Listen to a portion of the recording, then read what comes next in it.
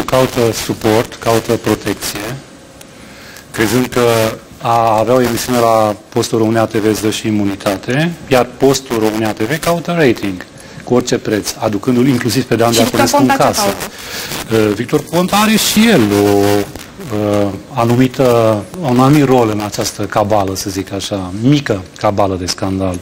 Tabloidizarea postului România TV, de fapt, nu va absolut nici măcar pe patronul României de problemele lui pe. Aici țin o diferență de Dan Diaconescu și domnul Sebastian Victor Ponta și da.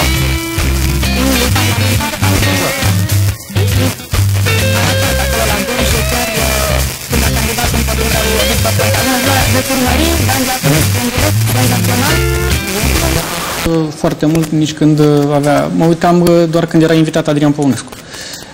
Uh, Ce vreau să spun este că sunt puțin... Aș vrea să punctez faptul că nu sunt de acord cu unele dintre, unii dintre termenii pe care ați folosit la adresa premierului și a Ministrului de Finanțe. Nu sunt de acord cu modul în care caracterizează niște lucruri. Eu nu mă joc cu cuvinte, n-arunc cu cuvintele, că ăla e Eu trăiesc din asta, domnule penale, deputat. Știu. Trăiesc din cuvinte. Dar voiam să vă spun, dar voiam să vă spun că știți că este foarte ușor să arunci cuvinte, după aia e foarte greu să le retragi.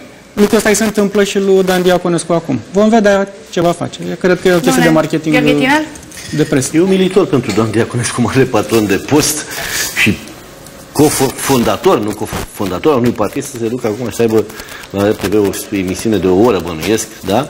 care va avea ca temă principală să fidelizeze din nou electoratul PPDD-ului și să-l aducă tot lângă PSD în vederea bătăliei din toamnă pentru președinția României. Da, eu, asta e, te poți coboră la orice nivel. Deci, în momentul de față, Dan Diaconescu, mai ales Dan Diaconescu, de acum un an și jumătate de ani de zile, e mititălul.